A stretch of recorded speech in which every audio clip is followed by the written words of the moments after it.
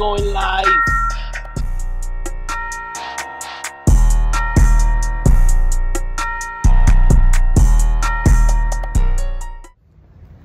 Hey, you know what? I'm on Fountain Avenue, Fountain between Belmont and Sutter.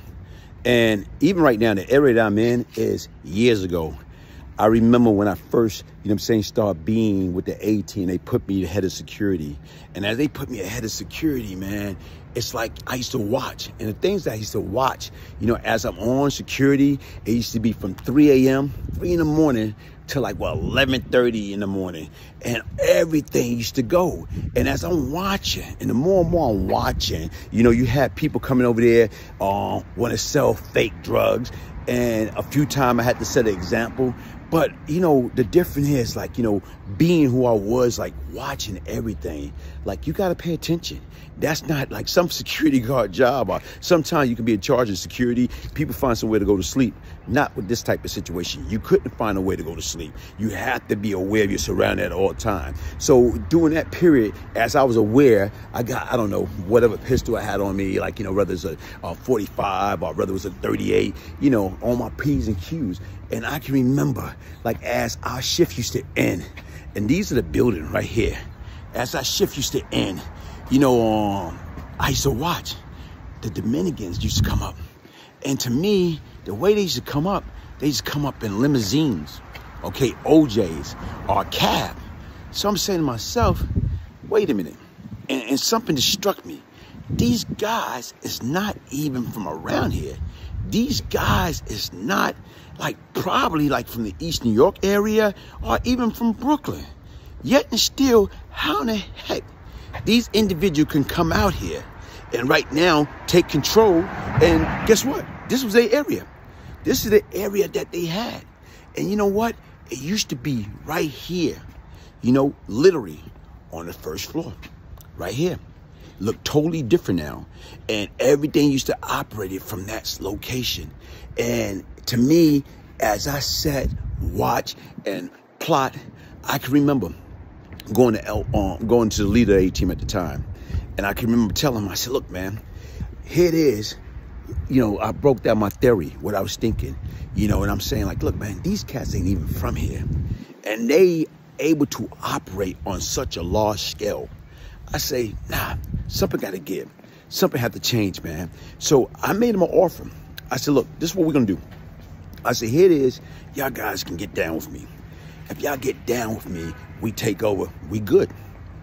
I say, but, you know, if y'all don't want to get down, I bring my own guys with me and we'll take over. And we, right now, we take over. Guess what? Y'all can keep what you have. And at that present time, what they have, they had, you know what I'm saying, um, what, seven days a week, you know what I'm saying, from 3 a.m.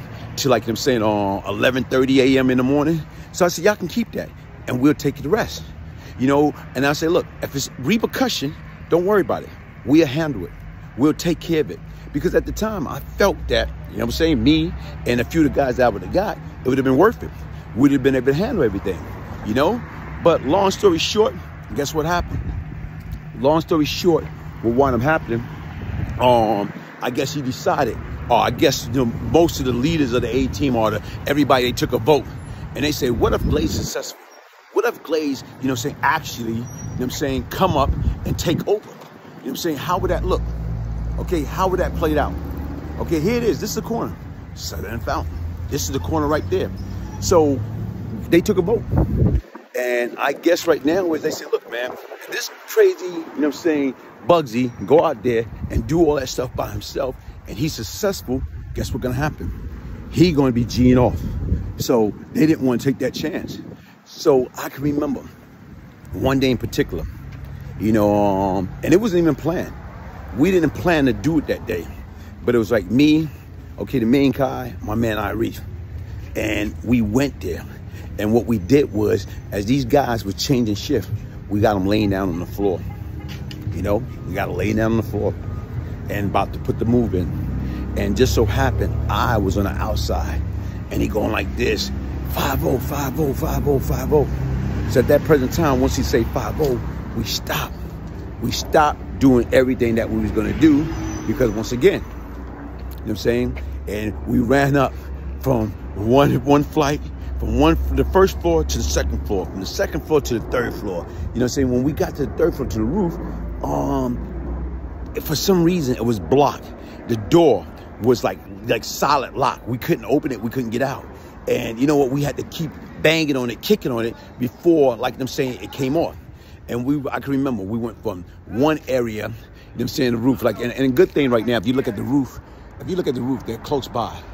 If you look at the roof, they're all close by.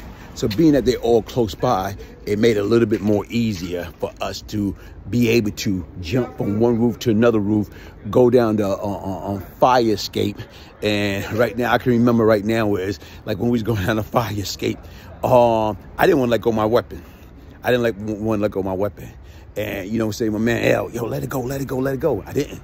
So as I'm trying to hold on to the weapon, and as I'm holding on to the weapon, what wound up happening was I wound up slipping and falling and off the fire, you know what I'm saying, off the, off the, off the handlebar from the fire escape, and boom, you know what I'm saying, hit my head. You know, next thing you know, I'm all cut up.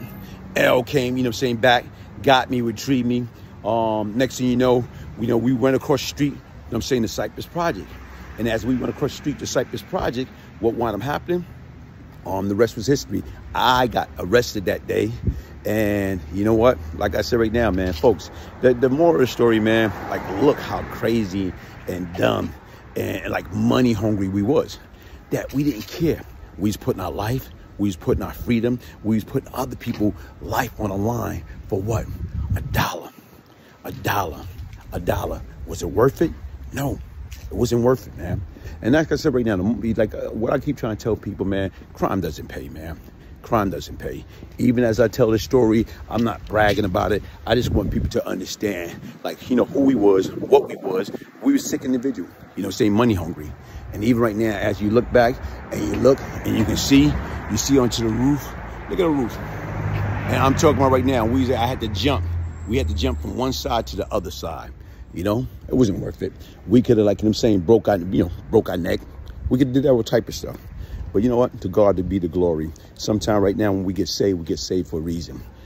Peace, love, and prosperity.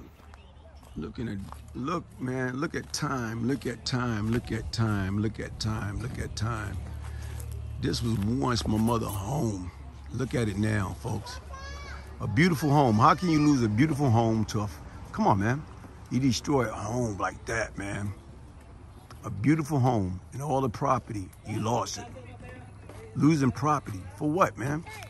What was the purpose of losing the property? What good to have if you don't got nobody to share it with, if you can't keep it? It's like worthless. Having property that you cannot keep. You know, you got something free and clear, but you cannot keep it. Why? What the heck is this, man? Man, this stuff used to be beautiful. Look at it now. Look at it now. You had all that stuff and you just lost it. Why? Greed. Money is the root of all evil. Money is the root of all evil, folks. That's what you got to remember. Just got my copy of Beyond Lucky by Brian Glaze Gibbs. Thank you so much for sending me my personalized autographed copy. I've had the pleasure of knowing you for a long time, so I'm really excited to get to know some of your stories and what made you you and how this redemption came about. I know you're a changed man, and I'm looking forward to seeing the whole process of how it happened. Thank you.